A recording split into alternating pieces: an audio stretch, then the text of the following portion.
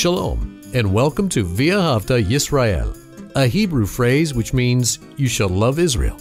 We hope you'll stay with us for the next 30 minutes as our teacher, Dr. Baruch, shares his expository teaching from the Bible. Dr. Baruch is the senior lecturer at the Zera Avraham Institute based in Israel. Although all courses are taught in Hebrew at the Institute, Dr. Baruch is pleased to share this weekly address in English. To find out more about our work in Israel, please visit us on the web at loveisrael.org. That's one word, loveisrael.org. Now, here's Baruch with today's lesson. I don't know about you, but prophecy excites me and encourages me. Even though many of the things that we see in prophecy, they are very disturbing. They speak about hard, difficult times, things happening that no one wants to take place. But remember what Messiah Yeshua taught us in the book of Luke in chapter 21. When he says, when you see these things taking place, and they're difficult things, he says, lift up your heads, meaning this, that God is getting ready to acknowledge, to recognize His people. He says, lift up your heads, and how is He going to recognize us? With redemption, because He says, lift up your heads, for your redemption draws near. Now, that expression, lift up your heads, it can be taken in two ways. And it doesn't have to be an either or or. Because God is going to recognize us, but that expression, to lift up your head, can also be a term, an idiom for encouragement. And this is what it means. When God recognizes us in the last days, when He shows in a very demonstrative way that we are His covenant people, that He is going to take us to Himself. Isn't that a great encouragement? And when we see these events happening, what He's telling us is this that the kingdom of God, what we should be passionate about, what we should be living based upon the reality of its coming, this is drawing near. So, what we've been living for, hoping for, believing in, when these difficult times come, well, we should be encouraged, and that encouragement should give us strength to persevere and to live righteously in those days. Well, with that said, take out your Bible and look with me to the book of Daniel and chapter 11. The book of Daniel, chapter 11. We saw last week that there's going to be Melech Gibor a very strong king that is going to rule. And now we're learning the events that's going to bring him, this unique king that does what he wants. And remember that phrase, very significant. When we're speaking about one who does what he wants, this is a satanic driven individual, one that's empowered, one that is illuminated with the deception from the pit of hell. See, those who do the right thing are those who do not what they want, but what God's will is. Remember what Messiah said on that night before he was crucified? When he said to, to his heavenly Father in the garden, Not my will, I'm not here to do what I want, but he says, Not my will, but your will be done. This is the difference between the real Christ and the Antichrist. The real Messiah does his Father's will. He lives a sacrificial life, a life of obedience.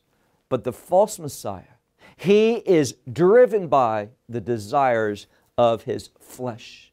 He is someone who is going to be utilized by Satan. And we saw a foreshadowing of him in last week's study.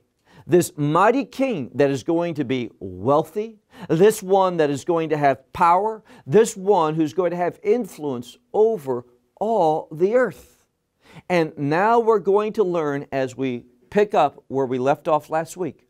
We're going to see the events that will bring him into power. But once again, we need to remember something. Messiah, when he taught about the last days, he said there's going to be many wars. So it's not going to be that the Antichrist just suddenly is in power. That empire that he's going to rule over, it's got to come into being first. And there's going to be many wars for that to take place and ultimately for him to become the leader of that empire. See, the last days and these wars and these conflicts are not just as neat as some would have you to believe. Some look at the last days and they kind of present it as a package all wrapped up.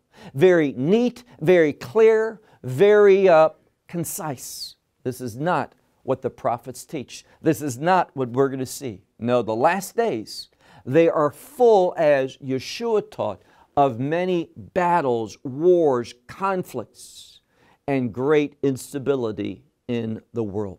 Well, let's continue on where we left off last week. Look, if you would, to verse 5. Now, it foreshadows, we saw in the previous verse, verse 4, it foreshadows a unique, a mighty king that does what he wants to. But now we're going to see through much of chapter 11 a conflict, a conflict between two kings. And these two, I should say, really two kingdoms. There's going to be many different kings and leaders that manifest themselves as we're going to see in the next uh, few weeks. But there's two kingdoms that are constantly at war with each other. Speaking about the king of the north and the king of the south. And what we should see here is that Israel is going to be right in the middle of all of these battles and conflicts. And we're going to see how Israel responds in the midst of these later on. But let's begin. Look, as I said, Daniel chapter 11 and verse 5. We read here, and the king of the south. Remember, there's going to be the king of the south and the king of the north. And the king of the south, he will grow strong. And from his officials, and this is the word sar, it's in the plural, so his main leaders. This word is used in modern Hebrew for a cabinet official. So we're talking about his primary leaders. And from his leaders, it says, he will grow strong and he will rule a government and powerful is his government. And the word here, I translated powerful. Well, it's actually the Hebrew word rav, and it means great or abundant, something that is much more than the norm. So, this kingdom that he's going to rule over is going to be one that's very strong. And who are we talking about? Well, look again at verse 5. It's the king of the south. He's going to have a very strong government. Look now to verse 6. We find a very significant phrase that appears over and over in different forms. Now, remember last week I told you about this word ketz. Ketz means end. And primarily, we're talking about the end of this age. We're talking about the end of this world that will lead to a transition into the kingdom. And that's why I truly believe when we look at this and how this scripture is unfolding and the use of this phrase ketz in many different ways, the end, I believe all of these are strong indicators that we shouldn't look at Daniel chapter 11 and go back 24, 23, 2200 years ago and focus in on Alexander the Great and what happened after he died, and ultimately Antiochus Epiphanes, who came and, and ruled and caused great uh, atrocities for the Jewish people. Although they are significant times, although they show us a pattern, a paradigm that, that lends itself for understanding the future, I believe the indicators from the text are that this passage has last days implications written all over it. So look, if you would, to verse 6. It says, Uleketz shanim, at the end of years. And the term years can be understood as time. So at the end of time, at the end of the summation of years, notice what happens. Now, there is a king of the south. But the emphasis here in this passage is going to be, and we'll see this in the weeks to come, the emphasis is on the king of the north. We know, according to many other prophecies, that the Antichrist is going to lead a vast, a great army in the last days to come to Israel with his purpose to go and destroy Jerusalem and take leadership over it. We know that he's coming from the north.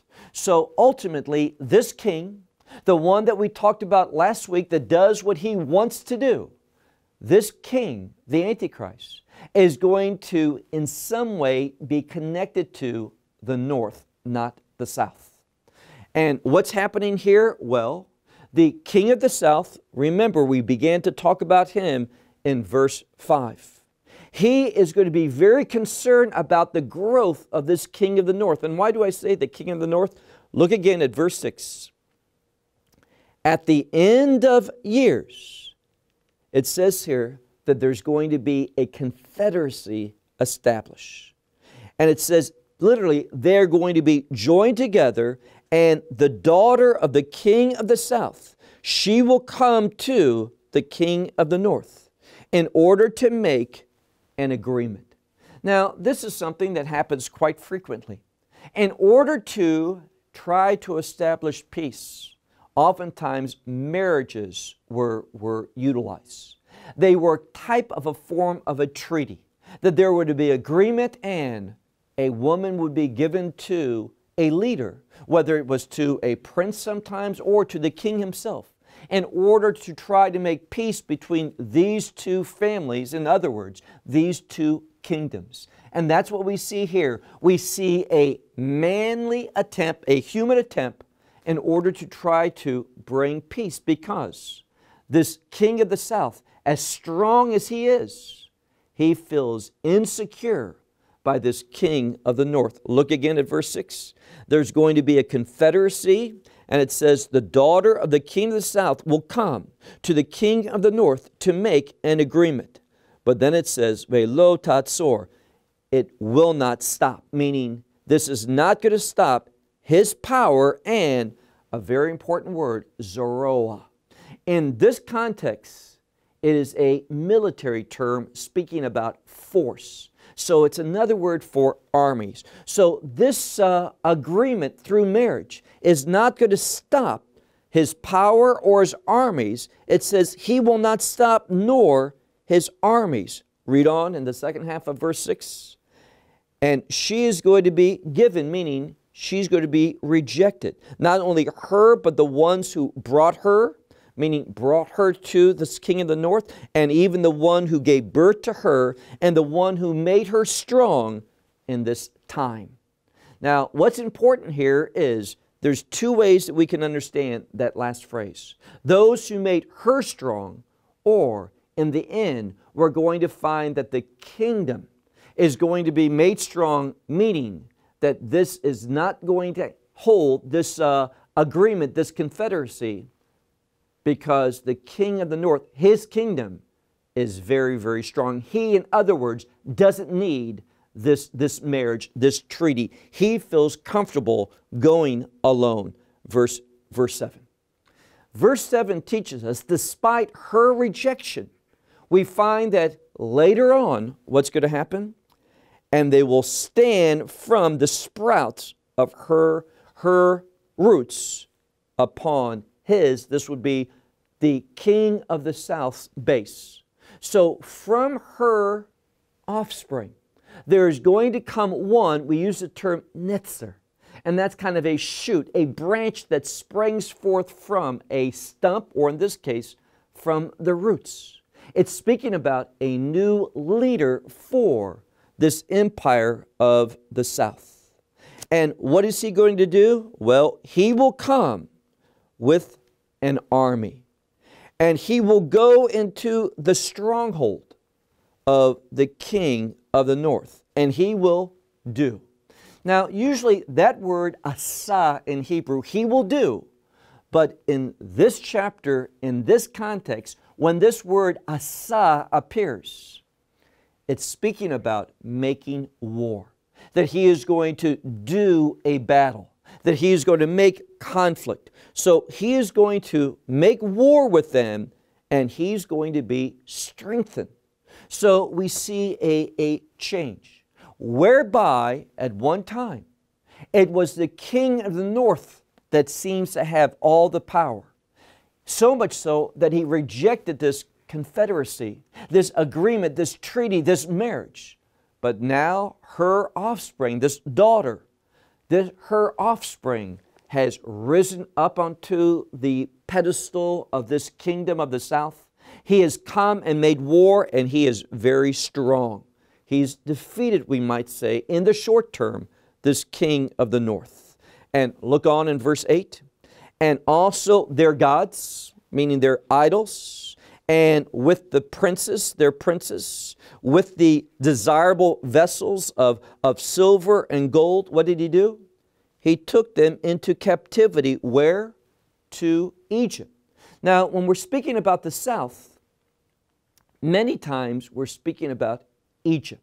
Some scholars point out that Egypt is another term for northern Africa. So, not just the modern country of, of Egypt today in those boundaries, but we're speaking about northern Africa, much of Africa, some scholars would say. And that is because the Egyptian empire ruled over these places. So, very significant information. And it says that he's going to take these things into captivity in Egypt. And we read, Vehu shanim yamod mimelech which means he, years, will stand more than the king of Egypt. So this leader is going to remain longer. This leader from the south is going to remain longer than, let me translate this right, the king of the north. So once more, we're seeing that the king of the south, he has greater power at this time. Look now to verse 9. Over and over, what we see here is this conflict going back and forth between these two empires, what the scriptures call the kingdom of the north and the kingdom of the south. It began with the north being the most powerful, but now, in this next generation, we see just the opposite. It is the king of the south. But notice what happens in verse 9. And he comes, who's that?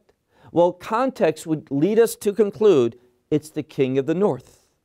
And the king of the north, he will come into the kingdom or the king of the south.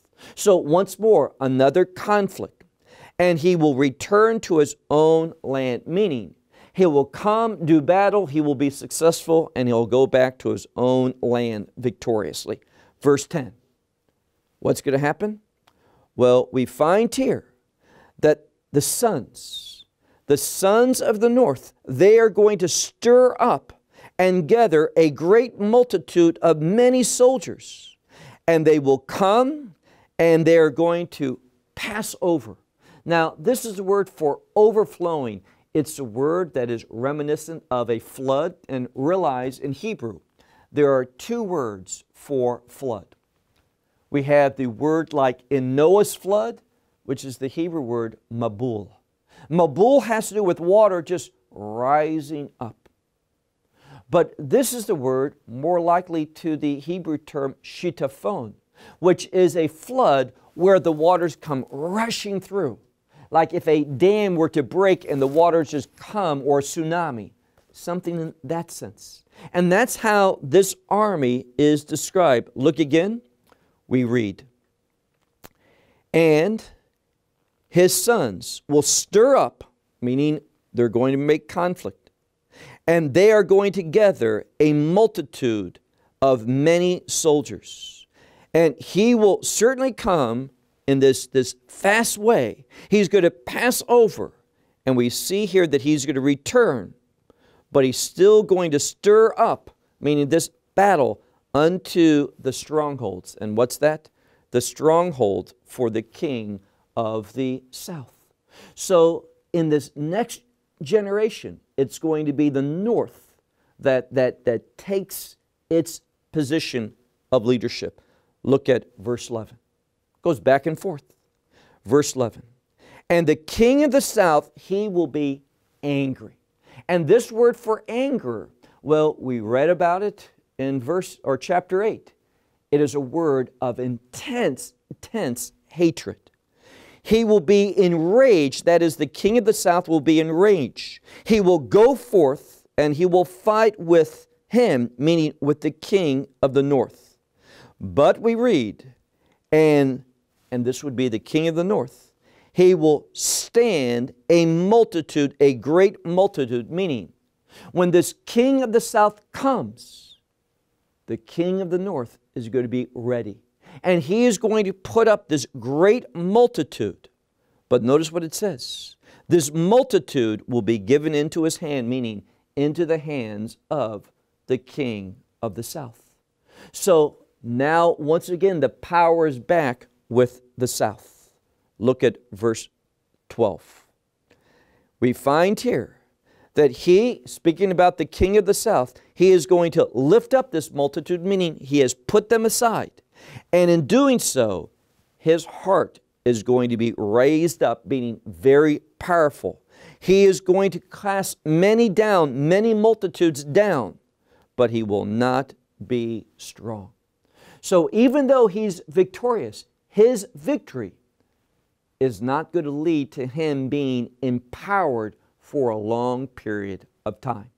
What's going to happen? Well, once more, we see that the king of the north is going to rise up. Why do I say that?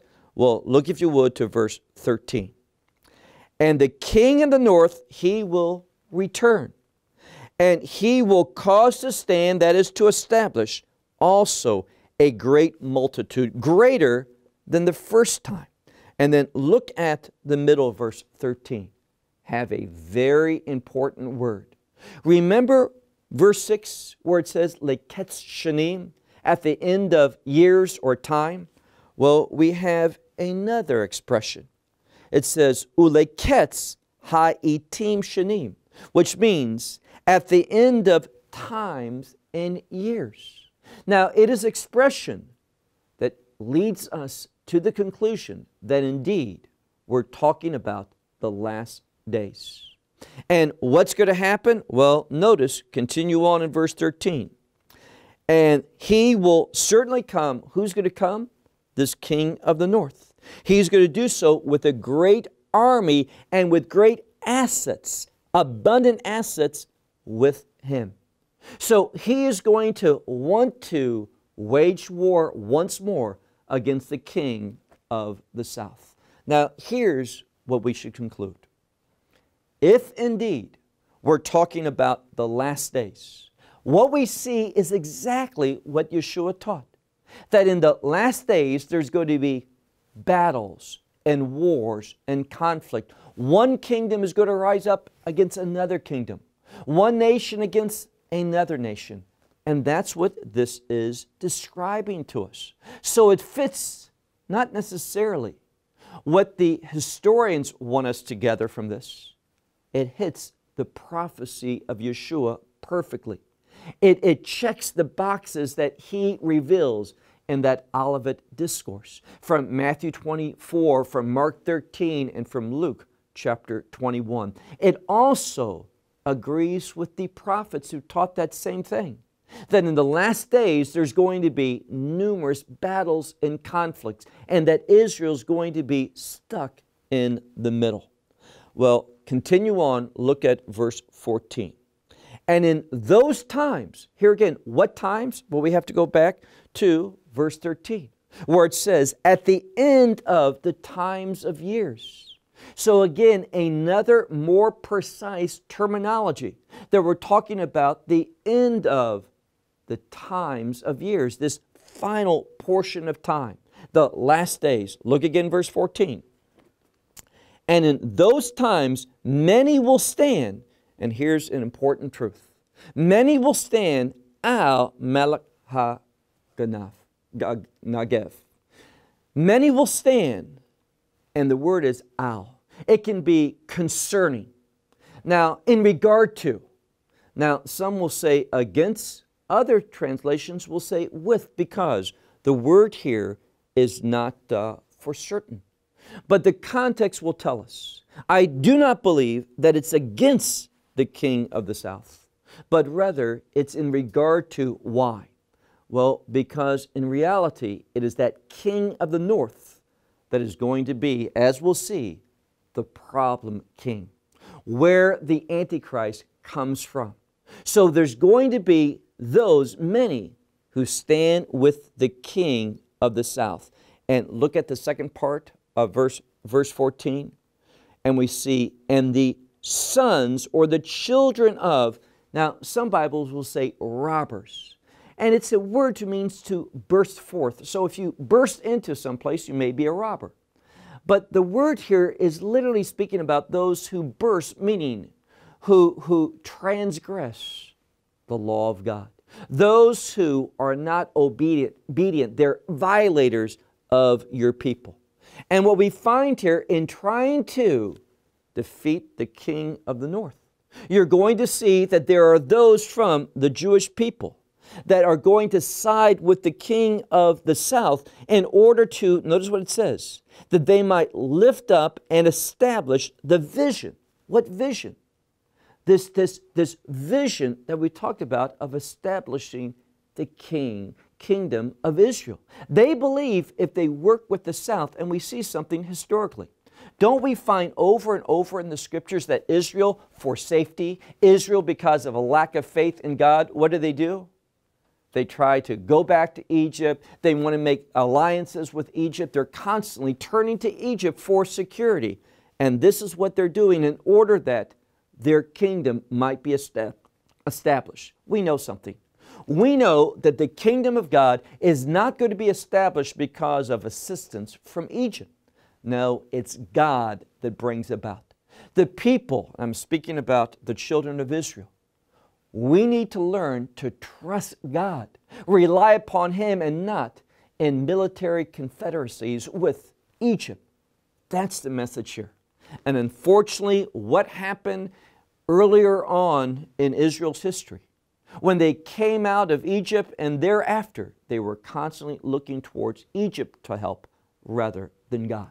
Now, this scripture is going to share that Israel needs to trust God and no one else. And that's a message for all of us. Well, we hope you will benefit from today's message and share it with others. Please plan to join us each week at this time and on this channel for our broadcast of loveisrael.org.